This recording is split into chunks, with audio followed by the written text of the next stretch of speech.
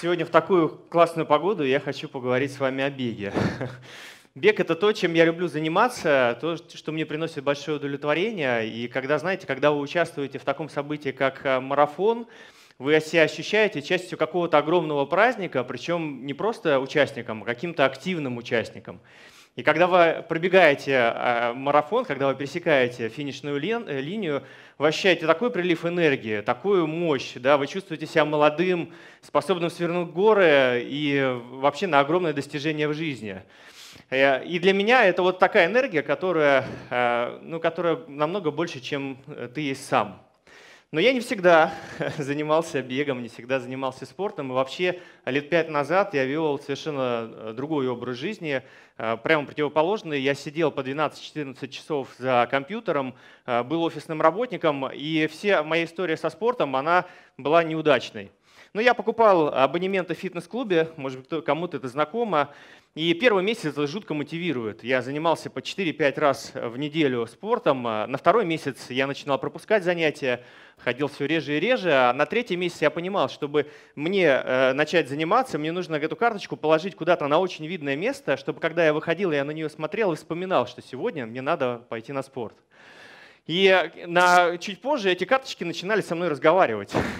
И причем то, что они мне говорили, мне не очень нравилось. И чтобы этот диалог прекратить, я эту карточку прятал куда-нибудь под диван, чтобы больше не видеть. И так повторялось из раза в раз. И вот однажды мне э, позвонил мой друг э, и сказал, слушай, Миша, пойдем в горы. Говорю, классно, горы, я никогда там не был. А что для этого нужно? Говорит, ну возьми э, кроссовки и шорты, потому что внизу будет жарко. А возьми еще горнолыжный костюм, потому что наверху будет холодно. Да, еще возьми ледоруб.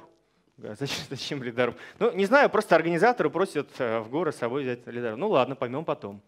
Через какое-то время мы оказываемся в горах, и я вам могу сказать, для человека э, цивилизованного, для городского жителя, это что-то невообразимое. Мы были в Непале, э, самые высокие вершины мира, э, необычайная природа, свежий воздух, э, необычная культура, в которую ты окунаешься.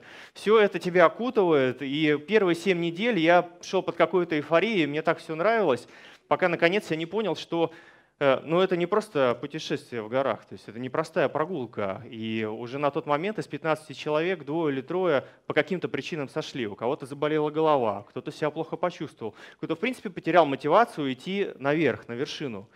Э, и в этот самый момент я прекрасно помню, что э, у меня тоже наступил период, когда я потерял почву под ногами, когда у меня э, такое было разводнение, то есть я очень плохо, расфокусировка зрения, я очень плохо стал видеть вокруг, что происходит. Смотрел только под ноги, и в голове была только одна мысль, что тебе пора сходить. Что нужно выбрать просто какой-то камень, сесть на него, снять тяжелый рюкзак, попросить э, инструкторов, и чтобы они тебя спустили вниз. И этот голос продолжал. То есть, если ты сейчас это сделаешь, ничего страшного не произойдет. Уже два человека, там, три человека это сделали. Тебя никто не осудит, на тебя никто косо не посмотрит. И я уже выбрал камень. Э, прекрасный камень, удобный. Мне показалось, будет в нем комфортно посидеть, отдохнуть. Я подхожу к нему с мыслью сесть, и вдруг в голове я услышал второй голос. И второй голос мне говорил, подожди, вот у тебя сейчас есть шанс, вот если ты сейчас не сядешь, у тебя есть шанс, что ты победишь себя, то есть у тебя будет маленькая победа над собой, ты продолжишь движение, может быть, ты не дойдешь, но спустившись с горы, у тебя будет победа над собой, у тебя будет история, которую ты можешь рассказать не только своим друзьям, да, но ты можешь э, передать это по наследству, рассказать своим внукам. Почему-то я о детях не подумал сразу, о внуках. Но, э, и эта мысль меня так задела, я подумал, действительно, вот что у меня на сегодняшний момент, как, какие, какие достижения у меня есть, что будет интересного моим внукам услышать от меня. Но будет ли им интересно знать, что я по 12-14 часов провожу в офисе? Ну, вряд ли. Но будет ли им интересно, что я там фанатично строю карьеру? Ну, вообще не интересно. Я подумал, что действительно для меня это шанс, один из немногих в жизни, зацепиться и пойти дальше.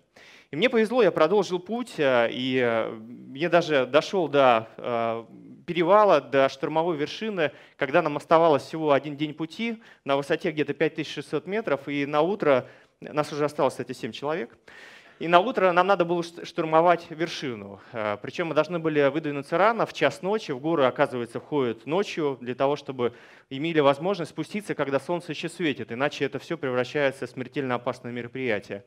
И мы за несколько часов до выхода узнаем, что наш инструктор, мастер спорта по альпинизму, э, не может нас сопровождать. За день до этого он упал, и разбил ногу. И его путешествие наверх, оно сопряжено с опасностью, он просто не дойдет.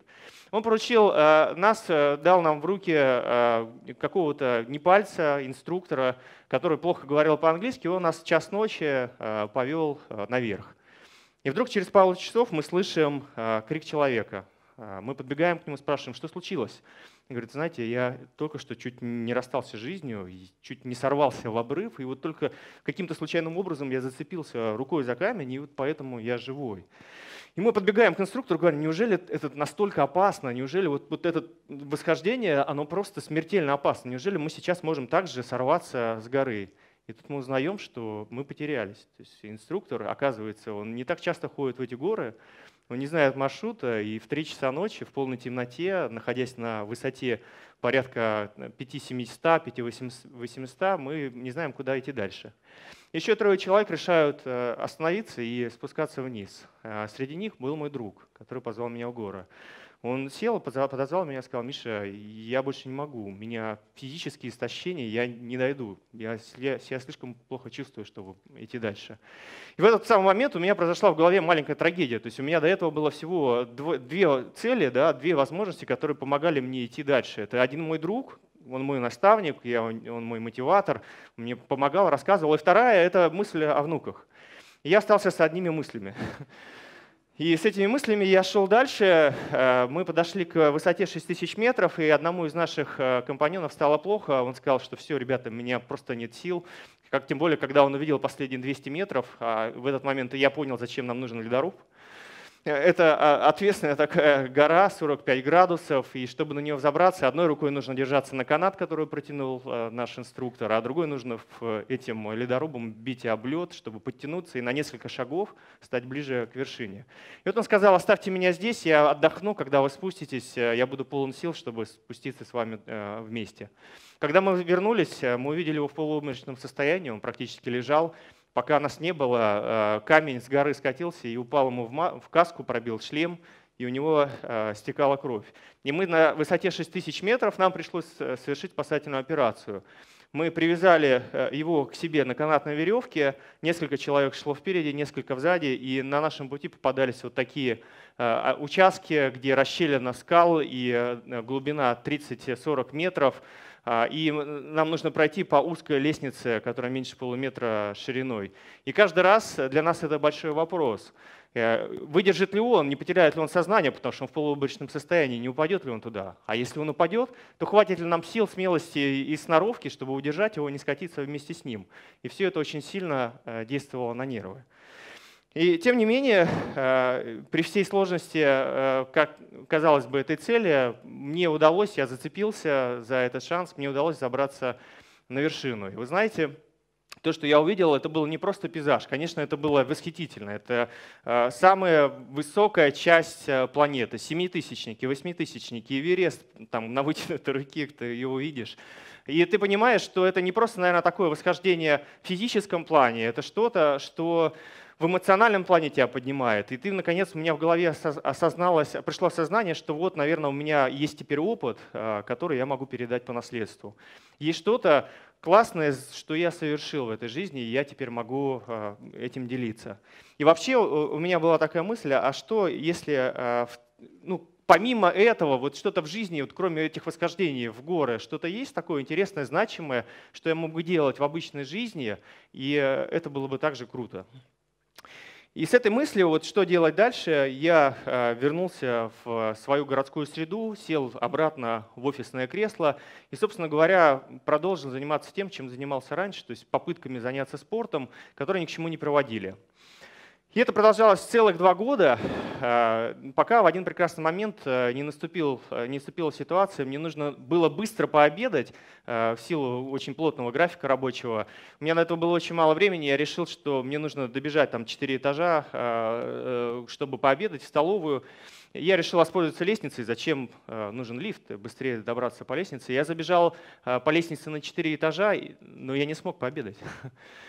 меня трясло, меня прошибло на пот, э, меня сбилось дыхание, у меня тряслись руки, и физически я был разобран. Но что гораздо хуже, я был разобран психологически. Представьте, только два года назад я ощущал себя на вершине мира, я был человеком, который забрался на 6200 метров, не каждому это было дано, а теперь я не могу забраться на четвертый этаж, чтобы пообедать. И в этот самый момент мне звонит друг, тот самый, э, и э, говорит, слушай, Миша, а я тут пробежал недавно Ironman. Я говорю, а что это такое? Ну вот вы слышали, а что это такое? Он мне говорит, ну вот надо 4 километра проплыть, потом ты должен 180 километров проехать на велосипеде, и потом ты должен 42 километра пробежать. И все это он сделал за 11-12 часов. Я подумал, слушайте, это тот парень, которого два года назад я оставил у подножия горы и пошел вверх на вершину. А сейчас получается, что это я на подножии горы, а он пошел вверх, а я остался, э, э, а я остался там. Это очень сильно по мне ударило, и я понял, что мне надо что-то в жизни менять, мне нужен вызов, а, вот сродни тому, что я испытал в горах. И я подумал, что Ironman — это вообще космос, это нереально. Я весил тогда 96 килограмм, и для меня поход в лестницу оказался там вызовом. Поэтому я подумал, что хотя бы я могу начать бегать. Ну, потому что кроссовки и шорты у меня уже оставались с похода в гор. Для этого ничего не, не нужно было больше. Я нашел старт, зарегистри... Э, нашел старт, зарегистрировался на марафоне. Я причем искал старт, который максимально близк, близок к моему дню рождения. Я хотел себе сделать подарок на день рождения, подарить себе новую жизнь наполненную яркими эмоциональными такими воспоминаниями, спортивную. Мне хотелось, чтобы это было именно спортивное. И я выбрал старт э, в Амстердаме. С этого самого момента полгода, каждый день э, в моей голове жило два голоса. Один голос говорил, слушай, ты посмотри на улицу, ты видел, там снег, дождь, там плохая погода, там слишком жарко, там слишком сухо. Ты вчера не забыл, что ты пришел слишком поздно с работы, тебе нужно поспать, останься в своей тепленькой, уютненькой кроватке. И второй голос, который говорил, так, стоп, значит, смотри, если ты сейчас не выйдешь, не пробежишь, не сделаешь свою тренировку, и сегодня этого не сделаешь, что значит ты через полгода не пробежишь свой марафон. Через полгода у тебя будет полная фиаско, ты спустишься с горы. И э, я вот на протяжении вот этих пол, пол, полгода, сколько у меня было до старта, я жил в постоянной борьбе с этими голосами. И, конечно, я не всегда побеждал, а, но я очень рад, что большей частью все-таки мне удавалось выходить победителем. И через полгода я оказался а, на своем первом старте в Амстердаме. Я ждал, ждал этого старта с трепетом, а, с большим воодушевлением. У меня были очень большие ожидания от этого старта. Но когда я приехал и увидел стадион, на котором уже выстраивались спортсмены, я вдруг понял, что ну, я, наверное, совершил ошибку, скорее всего, я зарегистрировался на какой-то другой старт. То есть ну, ну, меня не должно здесь быть, потому что я увидел э, элитных спортсменов, там, кенийцы, эфиопцы, здоровенные мужики, поджары, ну, которые явно не полгода назад начали спортом заниматься, они этим занимались всю жизнь. И вот мне тут явно не место. И у меня начался дикий мандраж, и у меня был номер, 20 э, тысяч какой-то. И э, оказывается, что ну, ты должен стартовать именно вот в зоне, где э, расположен твой номер. И проходя все дальше дальше от элитной зоны, от первых участников, я выдыхал, потому что я уже видел там людей, и где-то около, как раз подходя к 20 тысячным, я увидел его мои.